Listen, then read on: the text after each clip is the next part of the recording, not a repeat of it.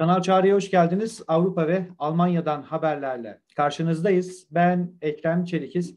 Değerli izleyiciler, korona vakalarının hızla arttığı Almanya'da her 100 bin kişide görülen vaka sayısı pandeminin başından bu yana en yüksek seviyeye ulaştı. Önlemlerin sertleştirilmesi gündemde.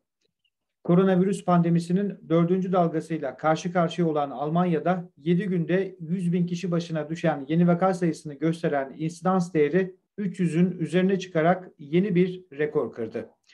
Salgınla mücadeleden sorumlu kuruluş olan Robert Koch Enstitüsü'nün verdiği bilgilere göre Almanya'da instans değeri 303 olarak tespit edildi. Söz konusu değer bir gün önce 289 iken bir hafta önce ise 201.1 seviyesindeydi. Ayrıca Robert Koch Enstitüsü'nün verdiği bilgilere göre 24 saat içerisinde kayda geçen yeni vaka sayısı da 23.607 oldu. Koronavirüsün yol açtığı COVID-19 hastalığı nedeniyle hayatını kaybedenlerin sayısı ise 43 oldu. Geçen Perşembe günü Almanya'da yeni vaka sayısı 50 binin üzerine çıkarak yeni bir rekor kırmıştı.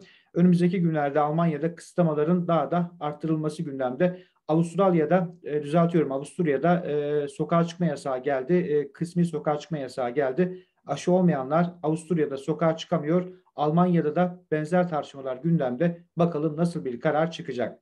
Değerli izleyiciler bir sonraki haberde görüşünceye kadar hoşçakalın.